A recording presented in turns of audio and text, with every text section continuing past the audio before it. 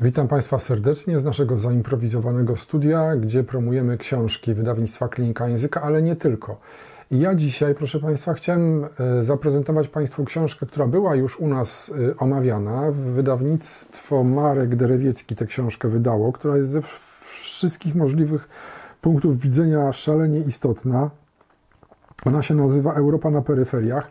Średniowieczny system świat w latach 1250-1350. 50. Ja od razu powiem, że y, y, mam mnóstwo zastrzeżeń do tej książki, do sposobu opisywania świata y, jako właśnie szeregu systemów, ale żeby to wyjaśnić, chciałbym powrócić do, zacząć od anegdotki obyczajowej, która wiele mówi o systemach światach oddzielonych od siebie. Otóż była jakaś taka znajoma, która y, szczęśliwie żyła sobie ze swoim mężem. Y, było to w czasach już bardzo dawnych y, i ten mąż dostał propozycję kariery w innym mieście. Wyjechał do tego innego miasta. No, z perspektywy dzisiejszych E, relacji transportowych nieodległego, no ale rzecz była, rozgrywała się w czasach głębokiej komuny i wtedy to było inaczej. No i w tym mieście sobie mieszkał i to było takie małżeństwo na odległość. E, po niedługim czasie okazało się, że on w tym mieście, w tym samym kraju ma nową rodzinę, E, a w dodatku jakieś dzieci. E, no więc powstały dwa systemy światy, proszę Państwa, oddzielone od siebie niewielką e, ilością kilometrów, całkowicie ze sobą niekompatybilne, wręcz wrogie.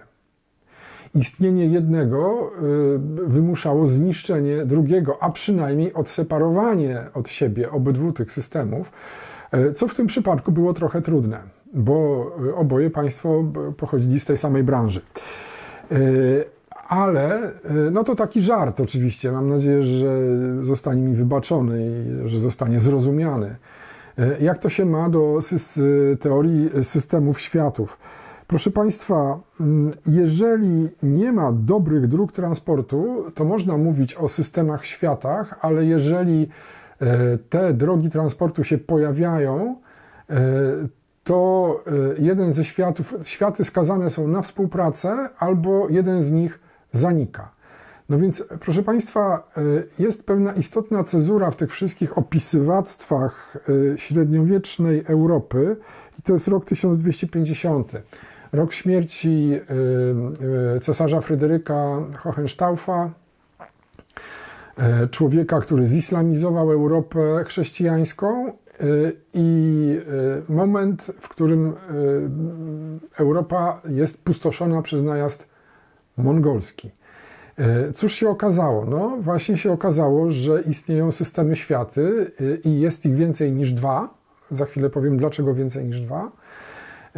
I jeden z tych systemów światów stwierdził, że trzeba położyć kres kolejnemu, bo za dużo tego dobrego. I nie może być aż tylu systemów światów e, na jednej e, niewielkiej planecie. E, mówimy oczywiście o obszarach, które były od starożytności, od bardzo dawnych czasów zagospodarowane, ekonomicznie rozwinięte, gdzie produkowano bardzo dużo, bardzo skomplikowanych technologicznie przedmiotów i tkanin. Czy tkanina jest przedmiotem? No jest zapewne. Teraz nie myślimy o tym w takich kategoriach. E, tkanina jest pewną iluzją. To można by długo opowiadać o tym, czym jest tkanina, proszę Państwa. Kiedyś może się skuszę na to i zrobimy sobie pogadankę wyłącznie o tkaninach. Proszę Państwa, i e, to jest moment, rok 1250, od którego wszyscy autorzy zaczynają swoje rozważania, e, kiedy jeden z systemów światów e, e musi zginąć, ale jednak nie ginie. Dlaczego? No właśnie, dlatego że y, oddzielone od siebie systemy światy są jednak jakoś połączone. Są połączone, a zwornikiem y, tym y, jest produkcja dóbr rzadkich i pieniądze. Ja przyjmuję taką wersję, proszę Państwa, że najazd mongolski na Europę został sprowokowany przez Wenecjan bo Wenecjanie mieli dosyć tego, że e, rozwija się eksport pomiędzy Europą Zachodnią, północną Afryką, krajami muzułmańskimi w zachodniej i północnej Afryce, Hiszpanią, a Indiami. Po prostu. I należało z tym skończyć. A żeby z tym skończyć, trzeba było załatwić pośrednika. Pośrednika, czyli czyli islam. To się znakomicie wpisywało w e, mm, e, ruch krucjatowy, tak przynajmniej na pierwszy rzut oka było to widoczne. Natomiast czy to się rzeczywiście wpisywało w ruch krucjatowy, to jest to sprawa dyskusyjna. O tym, że Wenecjanie, Wenecjanie obecni byli w otoczeniu Wielkiego Hana, pisała już Zofia Kossak, a także pisał Gabriel Ronay, którego książka Anglik Tatarskiego Hana wydaliśmy. Y, ja jestem przekonany, że istniały stałe i, i bardzo subtelnie rozwijane nici porozumień pomiędzy, pomiędzy Imperium Mongolskim a zachodnią Europą. Y, na czym oparte? No, wolałbym nie zgadywać, tak? ale, ale uważam, że ich istnienie jest pewne. No więc, proszę Państwa, co się działo przed rokiem 1250? E, przed rokiem 1250 istniały e, i grały pierwsze skrzypce dwa systemy światy. E, Indie i Europa, rozwijająca się dynamicznie Europa Zachodnia, która była penetrowana stale przez islam. Ten islam wdzierał się w sposób no bynajmniej niepokojowy, ale bez gwałtownych interwencji i inwazji coraz dalej na północ przejmując rozmaite mniejsze systemy i systemiki, głównie systemy komunikacji, systemy produkcji. E, czy robił to wespół e, z e, Cesarstwem Wschodnim, z Bizancjum? No to też jest rzecz do dyskusji. Myślę, że wiele, wiele na to wskazuje. I tutaj nam wchodzi sprawa ważna, czyli, czyli kwestia połączeń pomiędzy herezją langwedocką, Konstantynopolem a islamem, no i przez to z Indiami. No oraz kwestia taka, e, czy Wenecjanie, którzy potrafili manipulować Rzymem i papieżem, postanowili położyć kres temu światu i zainspirowali Rzym i Ojca Świętego do zainicjowania ruchu krucjatowego, a następnie położyli E, na, ten, e, e, na tę grę skomplikowaną, niełatwą, która zaczęła być, odbywać się na Bliskim Wschodzie, kartę najcięższą, czyli Mongołów. Trochę skomplikowane, ale proszę Państwa, moim zdaniem warte rozwinięcia szalenie rozwojowe autorsko. Niestety nie ma autorów, którzy by mogli te wątki rozwinąć, bo większość autorów piszących o tych sprawach to szczerzy idioci, którzy niczego nie rozumieją. E, no e, i e, ciężko też oczekiwać od naszego środowiska, że ono będzie cały czas się tymi kwestiami zajmować, a warto by było. No niestety autorzy to propagandyści, którzy działają na zlecenie, przyjmują pieniądze i realizują to w formułach rzekomo atrakcyjnych, całkowicie nieatrakcyjnych, oczywiście pretensjonalnych i głupkowatych. No ale mamy rok 1250, ważną datę, która wyznacza granicę w czasie pomiędzy światem, kiedy e, Europa jest e, przyśrubowana na sztywno do produkcji masowej, jaka odbywa się w Indiach, i tym nowym światem, który dopiero się w udręce i bólu narodzi, a którego początkiem był e, najazd mongolski na Europę. Cóż to znaczy w języku ekonomicznym? No, podbój rynku, tak? I i podporządkowanie tego rynku produkcji chińskiej. To brzmi jak fantastyka, proszę Państwa, dlatego że nie ma to żadnego oparcia w tekstach, y, których po prostu nie ma, bo gdzieś przepadły, moim zdaniem nigdzie nie przepadły, gdzieś są.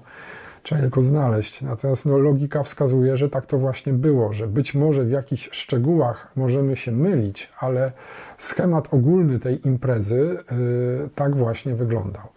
E, dlatego wszelkie próby e, wyjaśnienia, rzucenia jakiegokolwiek światła, nawet nie do końca jasnego, na tamte wypadki uważam za inicjatywę cenną i ważną. E, dlatego po raz kolejny wziąłem do sklepu tę książkę którą mi sprzedaje wydawca z bardzo marnym rabatem. E, no ale dobrze, no ja rozumiem, że on też musi żyć, chociaż nie sądzę, żeby je wydawał te, te książki za własne pieniądze. E, prędzej są one dotowane, no ale mm, niech i tak będzie. Ja nie mam do tego nic. Ważne, że te książki się ukazują, że możemy je czytać i możemy dyskutować o tym, proszę Państwa, bo nigdy dość przypominania, że yy, czego autorzy propagandyści nie rozumieją, że żeby książka żyła i żeby treści w niej opublikowane były skuteczne i miały wpływ na umysły, do czego oni rzekomo dążą, e, no to ona musi być omawiana. Muszą być gremia, które tym żyją i które tym żyją naprawdę. Albo przynajmniej muszą być sprzedawcy, którzy spodziewają się zysków na tej książce. Więc jeżeli propagandzie odejmuje się te aspekty, to to jest yy, no, coś absolutnie niepoważnego. Nawet nie mam dość mocnej obelgi, żeby to określić, więc pozostanę przy tym, co powiedziałem. To, to jest coś absolutnie niepoważnego, a autorzy tego rodzaju są po prostu komediantami. Dlatego nie przejmujmy się takimi rzeczami, jak yy, cieszmy się, że wydawnictwo Marek Derewiecki podejmuje ryzyko i publikuje te książki. Yy, one są ważne dla yy, naszego myślenia, także o świecie współczesnym i dla naszego myślenia o tym, jak traktuje się E, systemy światy e, i wizję, no bo historię postrzegamy jednak przez wizję. Możemy się łudzić, że jest inaczej, ale do źródeł nikt nie ma dostępu, więc postrzegamy to przez pewne wizje. I takie publikacje ujawniają przed nami istnienie zupełnie innych schematów operacyjnych. Mimowolnie to robią. A czy istnieją systemy światy? Oczywiście, że istnieją, proszę Państwa. Oczywiście, że istnieją. E, żeby się przekonać, jak bardzo istnieją, trzeba przeczytać tę książkę. Europa na peryferiach, średniowieczny system świat w latach 1250-1350. Bardzo serdecznie zachęcam. Do widzenia, do usłyszenia, do następnego razu.